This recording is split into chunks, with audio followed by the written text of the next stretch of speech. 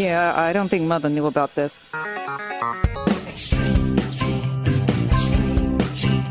Uncle Marvin was strangled by his own beard.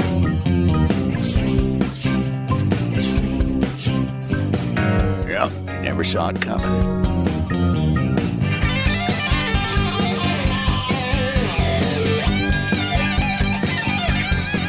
And welcome, America, to America's Family History Show, Extreme Genes and ExtremeGenes.com. I am Fisher, your radio root sleuth, on the program where we shake your family tree and watch the nuts fall out. It is so great to have you. Got great guests again today. Diahan Southard's going to be here, your DNA guide, talking about this strange thing called endogamy. What does that mean? Why could that affect your DNA results? She will explain that, as well as some tips on dealing with mitochondrial DNA. So, some good stuff coming up here in about 10 minutes. And then later in the show, Maureen Taylor, the photo detective, is back talking about metadata that you can now put on your digitized photographs. How can we make that go with the photos when some of these sites, in fact, almost all sites, don't accept that metadata along with the photo you post? So, we're going to get the full explanation as to where things are going with this effort that's going on nationwide right now to move along metadata with your photos as you post them. Hey, if you haven't checked out our brand new squeaky clean Extreme Genes website, you got to do that. Find out about the courses I'm offering right now for genetic genealogy and DNA and for basic genealogy. And of course, the full Extreme Genes archives now entirely searchable. So put in any keyword, it'll show you all the episodes that talk about that very thing. Right now, off to Boston, Massachusetts, where fresh back from his trip to Orlando, Florida, and those folks with the big ears, it's David Allen Lambert right here on our stage. On our stage. How are you, kiddo? Hey, but you sound refreshed. Did you have a good time? I did. I did when we avoided the hurricane that came up the coast. We oh yeah, got to yeah. Fly out a little early. that could put a little damper on your plans. Just a little bit. Hey, we got a lot of news here today with our Family Histoire news. Let's start with this whole thing about ancestry. They've picked up another major site, which is going to yes, be really useful to us. Yeah, they've added to their own family. Geneanet is now part of it, which is a leading French genealogy company. It's a really big company. I met them at RootsTech a couple of years back, and they have records in 10 languages oh, over yeah. 25 countries. It's great stuff. Yeah, cela signifie que vous pouvez rechercher vos ancêtres français which means I went to Google Translate, and it means you can now research your French ancestors like never before. I will tell you that this is a great site. They have been doing research over there that we don't see much of unless you mm-hmm. go to Geneanet, and it's going to be kept very much the same as it's been, except now Ancestry is going to be pouring in, of course, resources that they didn't have before. So this is a great thing for all of us with French ancestors. Well, in local news here in Massachusetts, North Andover Middle School students were inspired to clear the name of a lady who was accused of witchcraft in 1693. Wow. Elizabeth Johnson Jr. Yep. was never executed, Fish, but the students wanted to see her name cleared, and that inspired Massachusetts State Senator Diana DiZoglio to introduce legislation to actually clear Johnson's name from the records. This is really good. Uh, you know, I love, first of all, that teachers are getting the kids involved to learn about history and learn about processes of government. And for mm-hmm. a state senator to jump in and give them that experience, undoubtedly she's going to invite them down to the state house in Boston and show how all this process works. This is a really great thing. So, congratulations to everybody involved. And what a great thing for Elizabeth Johnson, too, to have her situation revisited after all this time. Well, you know, finding history is an amazing thing. And I think as genealogists, we're always excited when we find something that is a discovery in our own family tree. But how about when you find thousands of pages of documents in a building in the Eastern Shore House in Maryland which is about to be demolished, and they're all about enslaved individuals from the 1600s fish to the 1800s, found in this attic in this house. And, and the amazing thing about it is, as the building was about to go down, they were going to throw all these documents out. They were going to be gone, tossed, and now they're going to be preserved, and they cover a ton of names of enslaved individuals. And if you think about how many documents were probably lost during the Civil War, it's a true gold mine. Yep. I hope that some people find their ancestors in these records. But they're now being preserved and kept locally. They weren't ever sold piecemeal on the auction block, which I think was the fear. Yes. You know, you never think about how old your grocery store trip is until you read news like this. This is a story I saw on archaeology.org where 76,000 year old bones were recovered at a large Neanderthal hunting camp in central Spain. Well, what this suggests, Fish, is that the Neanderthals both processed large cattle and deer at a rock shelter, but then they took all of that to another location to eat. it's kind of like getting takeout, too, I suppose. Right. Maybe it's Yeah. the earliest takeout restaurant, Fresh Kill on the rocks. Absolutely. That's crazy. That's great. That's a It great is- story. The next story has me all a Twitter. Graves in England. Now, I love going to old cemeteries. As you know, I wrote that book on Massachusetts cemeteries. But 19,000 churchyards in England are going to be digitally mapped. The Church of England is launching a free website later next year that will list eventually every grave memorial and churchyard in the country. Now, I hope that includes memorials inside the church too, because those are sometimes very valuable to have. Yes. With stained glass windows. But yeah, these ancient churches, probably covering from the time of the Norman conquest all the way down to probably people that were buried this past year. And that's great. If you think of 19,000 cemeteries and churchyards, Right. how many millions of individuals that's going to include? Well, if you figure there's a thousand in each one, is that a lot? Is that mm-hmm, normal? I don't know, but that that could be 19 million right there. Mm-hmm. So I mean, even if it's a fraction of that, uh, you know, five six million. Yeah, my grandpa's from England. I'm always happy when they find another relative for me, even if they have Absolutely. to dig it up. well, that's all I have from Beantown this week, but I do want to let you know that if you're not a member of American Ancestors, you can save $20 with the coupon code EXTREME on AmericanAncestors.org. Talk to you in a little bit. All right, David. Thanks. Yeah, you'll be back for Ask Us Anything. And coming up next in three minutes, your DNA guide, Diahan Southard, is going to be joining us talking about endogamy and mitochondrial DNA. What do these things mean? What can you do with it? She'll explain. Coming up next on Extreme Genes, America's Family History Show.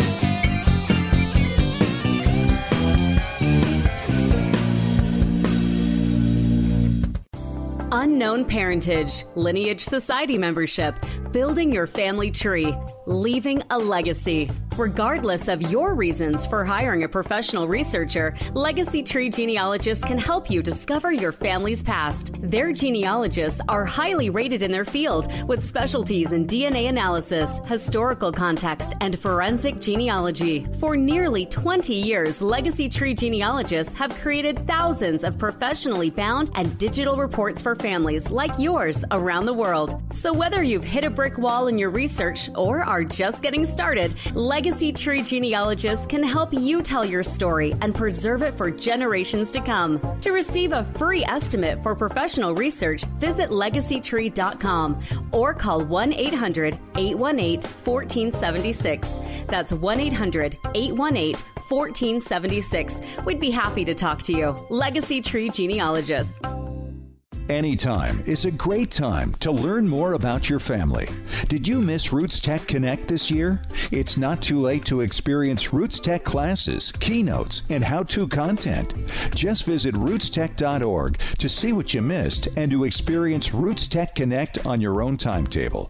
Select inspiring and insightful messages that will help you in your pursuit to connect with and share your family story in new ways.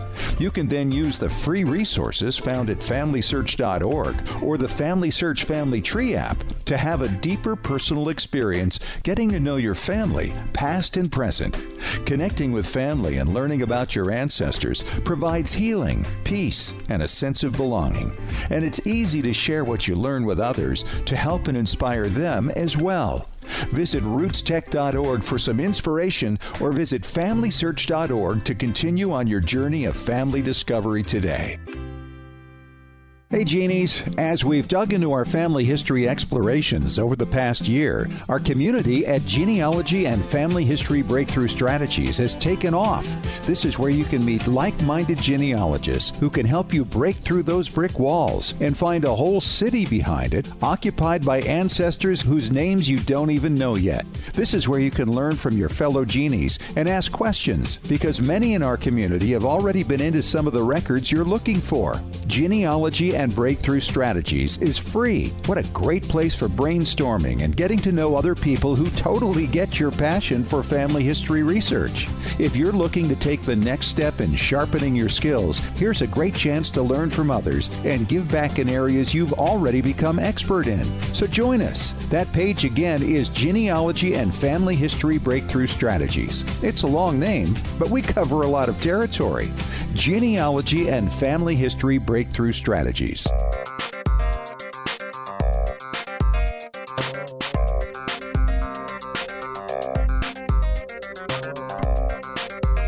are back at it on Extreme Genes, America's Family History Show, and ExtremeGenes.com. It is Fisher here, your radio root sleuth, along with my guest, my good friend, your DNA guide, Diahan Southard. And uh, Diahan, it's been a while. It's great to have you back.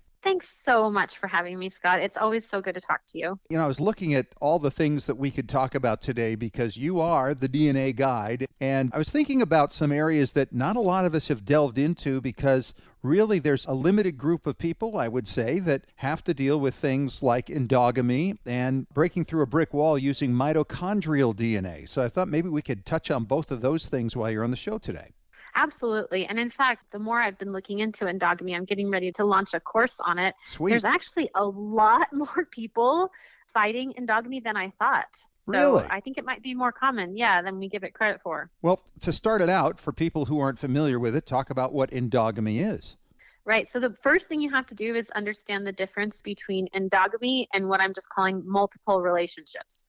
So if you have your grandparents were first cousins, they married each other, that's just multiple relationships. So you're going to have multiple relationships to people in that family. Okay. That's one thing. That's totally separate than endogamy, which is the process of people marrying within the same culture or family generation after generation after generation. Mm, yes. So it's really about how many times it's happened. So Is there kinda- a number with that? No, not officially, but it's kind of like if it's just been kind of one or two times in the last few generations, I would consider that multiple relationships. If this is a pattern that's been going on in your family for several generations, then it's going to be endogamy. Sure. And it's really kind of treated a little differently, isn't it? Because the closer relationships, it's easier to break down. But you start going back, like in the hills of Kentucky, or perhaps in Jewish communities around the world, a lot of intermarriage going on for long periods of time. Absolutely. And you kind of hit the nail on the head, right? If it happened recently, you can kind of deal with it. You can figure it out. You can see how the DNA is reflecting those relationships. But when it's endogamy, the DNA just gets really complicated. It gets Yeah. really mixed up. We rely so much on the amount of DNA that's shared between two people to help us determine our relationship. So, like if you and I share, say, 75 centimorgans, then we can estimate that you and I are third cousins. Sure. Great. So then we can, you know, start to do genealogy and figure out how we're related to each other.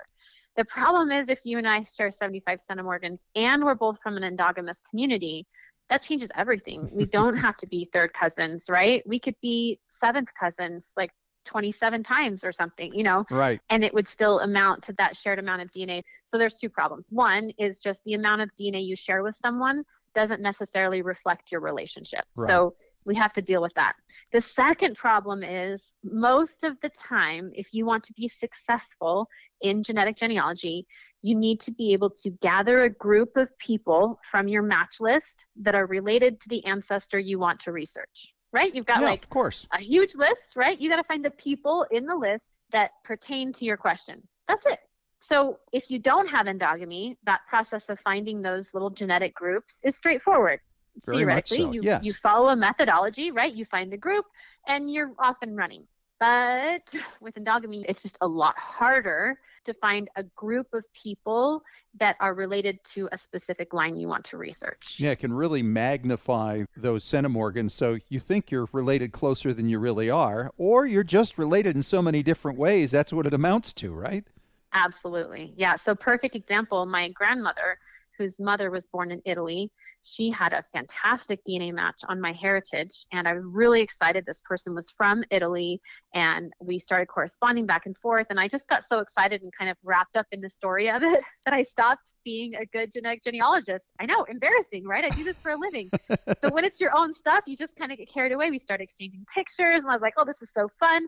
And they didn't really have very much family history, right? They knew their parents, and, you know, like a lot of people Sure, who yeah. DNA test, they just didn't have a deep pedigree. And I was like, oh, well, let's get back to your like great or maybe two times great grandparents and i think we can find our common ancestor. So i set them off on this search and they were so receptive. They were fantastic and they're like great okay we'll do this. And they start doing the research and putting together the tree and as they began to build it like there was no connection. And i was like no! And then of course it all came like crashing back to me that my grandma yes she's from italy but she's from this little tiny town in very northern italy and there's about five families in that town who married each other over and over and over again. And sure enough, there was lots of signs of endogamy in this relationship between Oh. this DNA match and my grandma. And I hadn't even considered it, honestly, because I was just thinking, we're not Jewish.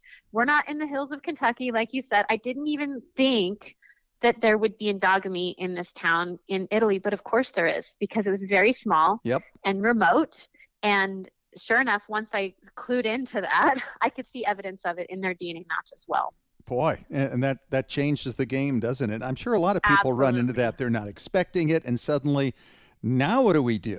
And trying to break that down because really, what is your relationship to that person? You do share this many centimorgans of DNA, but your relationship isn't third cousin or second cousin. It's many different things all added up. Absolutely. Yes. Like I said, it's really complicated. But I think one takeaway tip for your listeners if you do have endogamy or you suspect you have it, the way you can tell is really honestly by doing genealogy, just like I said. So I thought this person was my grandma's second cousin. We got back to those great grandparents. There weren't any that were the same. so if you get back to that generation where you think you connect and you don't, there's something wrong, right? So either you've miscalculated, you've done family history incorrectly. So what you need to do is go into your DNA match and look and see. So you can only see in MyHeritage or 23andMe or Family Tree DNA. You need a chromosome browser to be able to see it. And anybody who follows me knows that I do not advocate chromosome browsers. I'm never like, you have to have this. But in this situation for endogamy, it's essential because you need to be able to go in and look at the pieces of DNA that you share with your match. And then you only count those pieces that are higher than 20 centimorgans. Ah. Or if you're feeling very generous, higher than 15. But that's it. You don't count any of the others because the other segments are most likely there because of that shared population and not because of a recent common ancestor. So with this match from my grandma, she was sharing like 170 or something like that centimorgans with this match, right? Yeah. I went in and counted. Guess how many were over 15? Uh, 35. 35. 35 centimorgans. hmm Okay. so they're probably fourth cousins of some kind.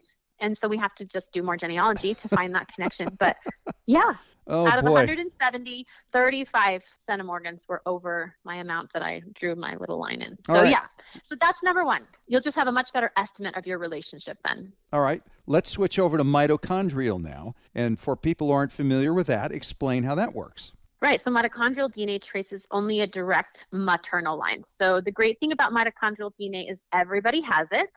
Okay. So you can test your own mitochondrial DNA to trace your mother's mother's mother's mother's mother's line. So you'll have the same mitochondrial DNA as all of your siblings, but only the females pass it on to the next generation. Right. So it's often just associated with women, but it's important to remember that men have mitochondrial DNA. They just don't pass it on. Okay. But the problem with mitochondrial, as opposed to its male opposite, generally speaking, the Y DNA, is that it doesn't really follow a name line, does it? Because the women's names change every generation. Yeah, that definitely makes the genealogy more complicated. And so, in, in a short explanation, then, Diahan, how do people use mitochondrial DNA to break through a brick wall down a female line?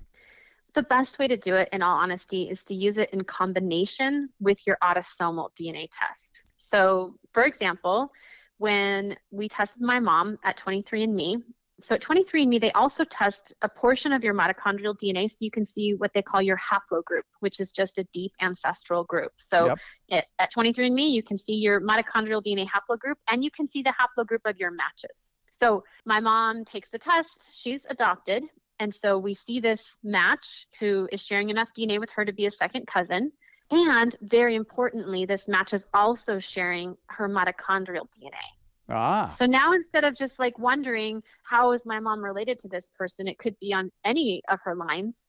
Now we can hypothesize at least that this match is related on her direct maternal line and on the match's direct maternal line. oh, So it really helped us focus our research on just this one line in his family tree, which then connected into my mom's direct maternal line. So sometimes that combination of autosomal DNA and mitochondrial DNA can really give you that extra little hint that you need to help you decide how you're related to someone else. great tip. What other ways can you use that? Well, so a lot of times there's some sort of history that you have, say, a Native American or African ancestor.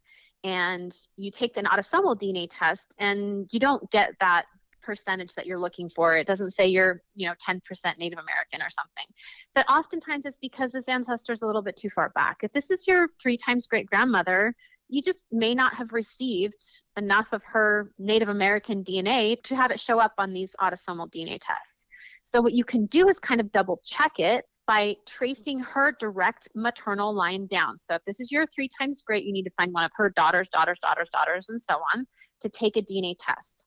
The mitochondrial DNA haplogroups, those deep ancestral groups, Yep. are very specific for Native American. And would it show up for any other group? African Americans, Jewish. Jewish, mhm, they all have very distinct haplogroups. Now, if you want to know if she's Welsh or Italian, that's probably not going to work for you because they, they don't have specific enough groups Okay. usually. I think we've been well taught today. That's your DNA guide, Diahan Southard. Diahan, thanks so much for coming on. Those are great tips. We look forward to hearing about some more of your workshops coming up. Great. Thanks so much for having me, Scott. It's always a pleasure. Check her out at yourdnaguide.com. And coming up next, Maureen Taylor talking about metadata and photographs. What is happening to get this standardized? You'll hear more about it coming up next in five minutes on Extreme Genes, America's Family History Show.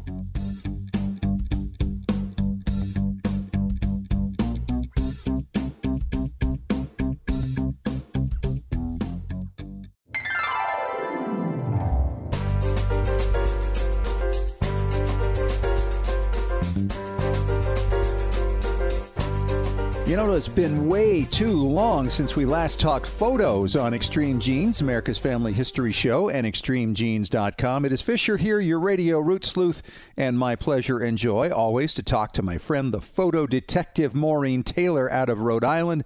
And Maureen, welcome back to the show. Thanks, Scott. Thanks for having me. So, you're part of this new group, this metadata working group, Family History Metadata Working Group, working with uh, Chris and Nancy Desmond and many others. Fill us in, first of all, on what's going on with that, because when last we left our heroes, we were seeing standardization as the target for metadata and photographs, meaning that you can actually take the information about the photo and have it travel with the picture. Right. So all the major image formats, JPEG, TIFF, that Apple format, HEIF, PNG, RAW, etc., allow you to add metadata, to embed it in the image. The problem is many sites ignore that metadata. Some take it out and some override it. So while you're thinking, I've done all this work on my family history photos and I'm going to embed all this metadata, then I'm going to upload it to this site and I'm going to upload it to that site and I'm going to share it this way. And all that information that I spent all that time doing is still going to be there. The problem is it isn't. Yeah. It mostly isn't. And that's kind of been the way it's been since the start of the digital era, really, right? Pretty much. So, is there progress being made in this area to try to get this standardization going between all these companies? And how does this work? So, the Family History Metadata Working Group, of which I'm now a part of the group, we meet every other week And we have a list of companies that we're, I don't want to say targeting in a negative way, but sort of educating about what we're trying to do Mhm. and why it's important and how we can come up with a set of standards so that when you put your images up various places, you'll still be able to access that information. You'll be able Yeah. to read it, write it, edit it, and export it, which doesn't always happen. So let's take, for an example, Google Photos. A lot of people use Google Photos. Yes. You've added information to the digital file on your computer, such as so metadata is things like the caption, the location, the dates, the names of the people. You upload that picture to Google Photos, and guess what? You can't read what you've embedded, which means you can't share it either. Wow. Same is true for the major parties of Ancestry.com, FamilySearch, and MyHeritage. Wow. You can add images, but support for embedded metadata is very limited. And so we're in conversations with all these major companies to talk about, well, can't we come to some consensus? And the progress, as you mentioned, there has been some progress, which is last year we met and came up with a list of standards, sort of fields that we'd like to see Sure. be transportable from one site to another. And now we're trying to get sites to add that code to what they do. So, is there resistance to the idea of moving metadata with the photos? It's just, I think, not a major priority. The bigger sites have other things on their agenda. So, if you do something else, you can't do this as well? You know, that part I don't know. I mean, I'm not going to cast dispersions on all these big sites because they're all great and we use them. But from a photo perspective, and as the photo detective, I would really, really love to see these standards across all the platforms. I think all of us would. I mean, let's face it. Yeah, if we're, if we're I going mean- to the trouble, for instance, of going through and, and colorizing, say, on MyHeritage or cleaning up a picture, and, and then you're adding all this detail and you throw it up there, and now you've lost all the context. That's a major so there- loss. Exactly. It's huge. And I've experienced it firsthand. I've embedded all this data in a collection and then found out that I couldn't look at all the data. So I had to do it again or again and again, depending on what platform I was using. So right now, if you embed metadata in an image in Adobe Lightroom, you can view it and read it and do all the stuff with it. You can do the same thing with Memory Web. You can do the same thing with Vivid-Pix. Sure. And I believe Forever. I know that Permanent is working on the standards as well. And these are all really great companies and really forward thinking people, having Yeah. interacted with all of them over the years. But we really need one big win, don't we? We need one big one win. One need, big one. We need this information to be portable, to be transferable. Mm-hmm. Yeah. So that when we upload it, imagine what the future could be. You put your images on one site, then you want to put them on another site, then you want to put them in another site, and you want to share all these things in these different platforms with various family members. Imagine that it's seamless, that everything can be read and shared, and you don't have to do it over and over again. Right. And, and the searchability of it, too, by year, The by subject. I mean, all of these things.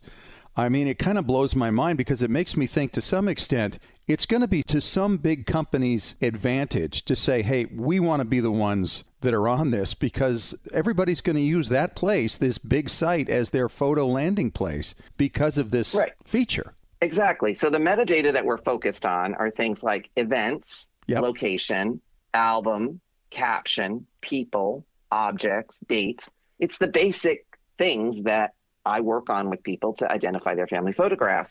Now, I will say that what have we learned recently? We have learned that genealogists can be very vocal about the issues relating to their family history legacy. Sure.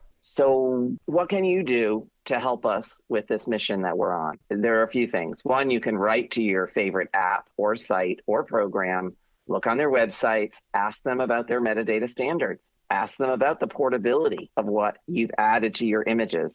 If you have an image and you've added all that information into it, when you upload it to their site, are you actually going to be able to see that metadata that's already embedded in the image? hmm Are you going to be able to share that? Are you going to be able to edit it? Simple questions, hard answers. Right, right. And I would imagine because they've got to involve all their tech people into putting something together to make this work, that might be the pain point for the companies to actually go forward with this. But you would think, like we talked about, you get one big one, the others all have to kind of follow, don't you think? You need a champion. Yeah, we need a champion. Then there's some competition. Yeah. But Once who's that's going to go first? That's exactly right. So, is this uh, an organization that others can join to support you in this work? Well, right now it's the Family History Metadata Working Group. It's a small group of us that meet, Mm-hmm. but certainly we're asking people to participate. They can certainly watch a video that Luther Tychonievich and Chris Desmond did at RootsTech last year on the Family History Metadata Working Group, and it'll explain how they can help and how Mhm. they can get involved. And they can join us on Facebook or LinkedIn. Oh, that's great. You know, if you're looking for a cause in family history, this would be a good one because, like you say, the repetition of having to add this every place you post a picture is a nightmare. It's a nightmare, absolute nightmare. How powerful are genealogists? I want to tell you something that someone told me a long time ago. So early on, when I started working with family photographs, it was really hard to get our good quality archival acid and lignin free materials for a reasonable price to work on your family photographs. Sure. But as the genealogical community became more interested in preserving the objects and photographs and documents that are in their family collections, they put pressure on the companies by asking for all of this stuff. And now today, you can buy those materials. And this was an industry leader who told me that without the genealogists, it never would have happened. Really? Interesting. Well, you know, we are a large group. I, I think there's an awful lot of potential here, and it's worth coming around to periodically to check back in and see how things are going because uh, when that day comes that you get that one champion, I think that's a game changer because everybody else ultimately has to fall into place. Yeah. So, once again, if people want to get in touch with the Family History Metadata Working Group, where do they go? They can join us on Facebook or LinkedIn. We have a website called fhmwg.org. Awesome. She's Maureen Taylor. She's the photo detective. Maureen, thanks so much and uh, keep us up to speed on what's happening. We really need this change to happen, Scott. Thank you so much for having me on Extreme Genes. You betcha. And coming up next, David Allen Lambert returns for another round of Ask Us Anything on Extreme Genes, America's Family History Show.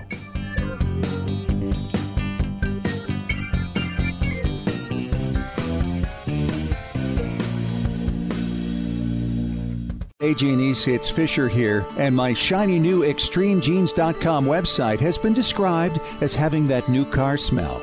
I love hearing that. Having been with you for over eight years now, it felt like time to help out listeners and followers who need to know the basics of genealogical research, as well as how to understand your DNA test results, and to be able to put them to work for you breaking down brick walls, identifying birth parents, locating new cousins who may have photos and information that can't be found anywhere else, and verifying your paper trails. Yes, DNA can do all that, and I can show you how. Check out the all new ExtremeGenes.com website and download the free Genealogy Strategy Roadmap and the free DNA Starter Guide. Then, if you like what you see, you can take those next steps to sign up for the video courses that you can watch at your leisure. I'll take you through all the basics, step by step. Find out more now at ExtremeGenes.com. Unknown parentage, lineage society membership, building your family tree, leaving a legacy. Regardless of your reasons for hiring a professional researcher, Legacy Tree Genealogists can help you discover your family's past. Their genealogists are highly rated in their field with specialties in DNA analysis, historical context, and forensic genealogy. For nearly 20 years, Legacy Tree Genealogists have created thousands of professionally bound and digital reports for families like yours around the world. So whether you've hit a brick wall in your research or are just getting started, Legacy Tree Genealogists can help you tell your story and preserve it for generations to come. To receive a free estimate for professional research, visit legacytree.com or call 1 800 818 1476. That's 1 800 818 1476. We'd be happy to talk to you. Legacy Tree Genealogists. Genies. Ancestry.com has just released an important new database, and it's free. It's the Freedmen's Bureau Bank Records and the Freedmen's Bureau Marriage Records. These records are a game changer for African American research. For the first time, searches for ancestors among these records can be done solely within these two databases, making discovery easier than ever before. Every name in these mostly post Civil War records has been indexed. We're talking three and a half million names, and they often include the names of parents, siblings, children, former slaveholders. They commonly provide ages, marriage information, and so much more. In some cases, you can read in their own words some of their stories as well as their post emancipation ambitions and challenges. If you've been hesitant to seek out your African American ancestors because of the pre 1870 research challenges, now is the time to see what information is waiting for you right now for free. Only at Ancestry.com.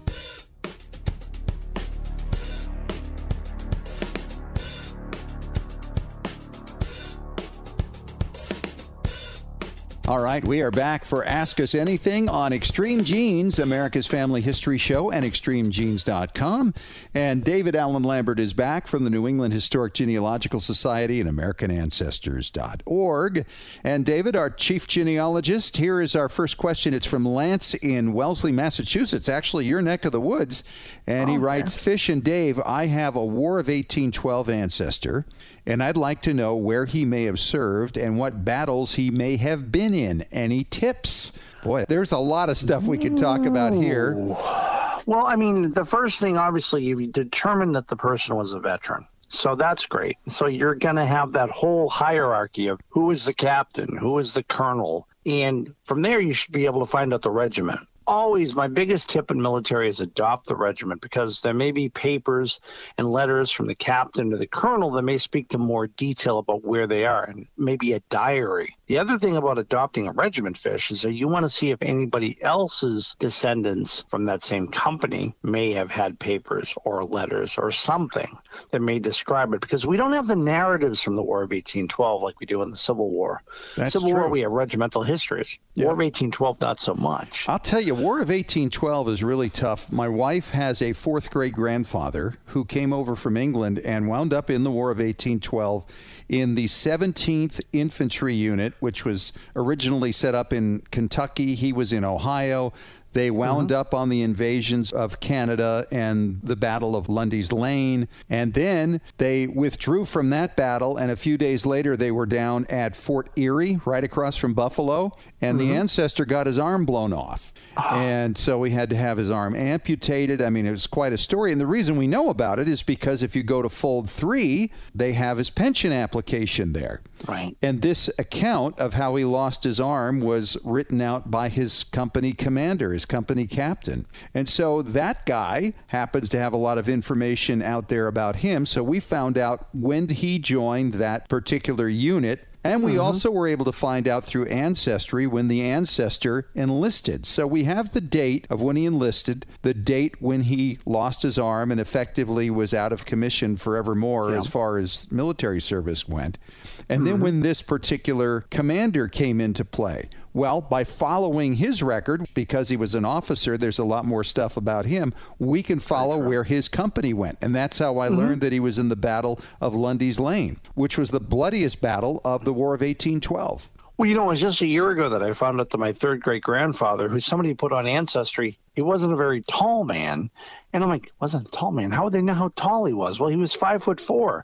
He was an artificer for the U.S. Light Artillery and was at the Battle of Plattsburgh, which was the last battle of invasion in New York until September 11, 2001, when we were attacked. So, one thing I want to tell Lance and anybody else out there if you're a guy and you want to join the General Society of the War of 1812, join Massachusetts, even if your ancestor didn't serve there, or even if you don't live here.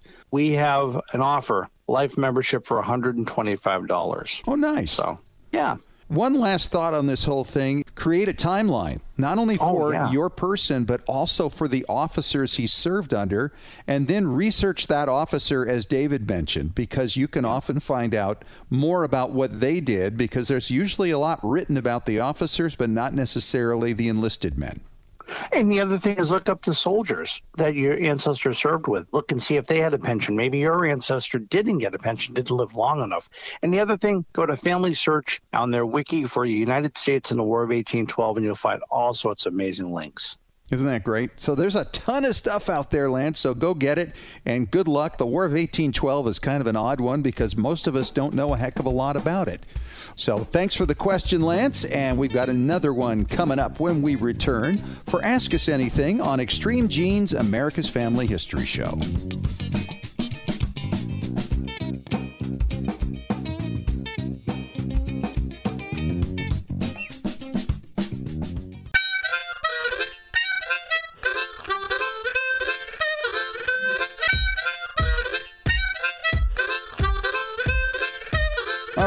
Do it again. Another question on Ask Us Anything on Extreme Genes, America's Family History Show, and ExtremeGenes.com.